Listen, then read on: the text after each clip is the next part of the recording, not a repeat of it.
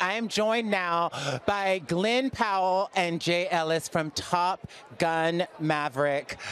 A sequel 30 years in the making, starring the amazing Tom Cruise.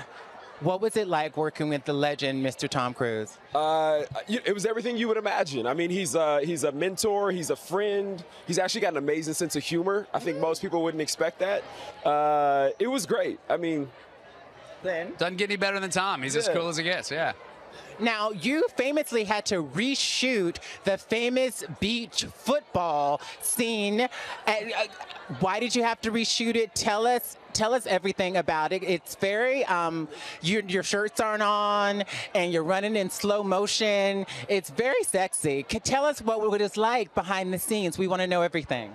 You wanna you wanna tell everybody your preparation for it? I think you can start us out here. Yes, yeah? how does an actor prepare for a shirtless scene on the beach? Uh, Method, yes. no eating. Uh, No- no eating. Uh, a lot of push-ups. I think there was like there were like three or four different circles of push-ups happening at one time. Uh, so everybody's Three circles of push-ups. Circles of push-ups. This is sounding really hot to me. Go on. Uh, Glen, what did you do? Uh, I don't know. The, ho- the hotel gym was The definitely packed gym. every night. Nobody Yeah. was. Um, it's a lot of anxiety around that scene. I, I don't have fond memories of it. I, I- it's it's a lot more fun on screen than it was in, in reality. It was good for us. So the anxiety. So this at home. See, look, think about it. They're very beautiful men. In per- they look real good in person. But the way they looked on the beach, that's not real life. They did not eat. They were probably dehydrated. So don't do that. Don't compare yourself to movie stars. Just be you. Do you right? Y- yes, do you? Do you? We agree. if this was a tearaway tux, it wouldn't look like that right now. Not unless you had a tub of coconut oil and, and some Should I try to tear it away and see? What happens? Let's see what happens.